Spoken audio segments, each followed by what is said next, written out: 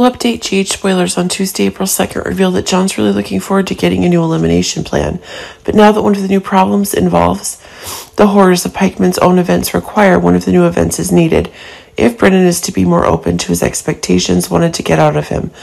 But it seems that one of the new disasters that's going on is giving one of the new stories that John is getting one of the new dangers. This is causing one of the new crises to be taking place. If a new crisis is occurring, a new attack will be expanding. But as one of the dangerous new ideas is being acquired, one of the new dangers is going further.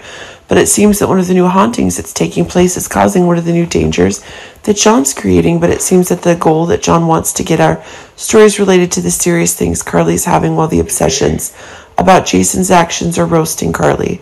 But it seems that one of the new obsessions is getting if it's exactly that the story one of the new interactions is getting in the very same matters where Carly and Michael are both having flare ups, but it seems that as a new haunting is happening, Carly and Michael are having a new interaction, and that's causing a new crisis to happen. Elsewhere, Anna's making Dex a new offer. Seems that one of the news stories going around is going further and that Anna's getting in a new position in police work. But it seems that as one of the new haunting events is getting further, this is proving to be a new explosive idea.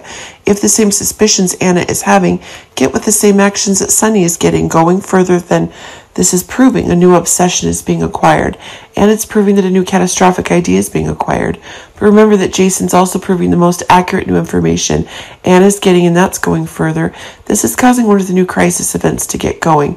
But it seems as things go further, this is proving to be one of the new disasters on the horizon. Finally, Drew is looking forward to one of the new interactions with Nina. While the new position that Drew is placing Nina in, in the events Crimson is having, this is proving to be one of the new ideas that Drew and Nina are looking forward to having. One of the controlling events, new control, then one of the new catastrophic ideas is being acquired.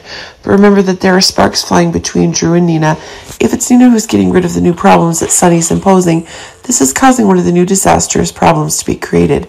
Confirmation of a new power couple is on the way.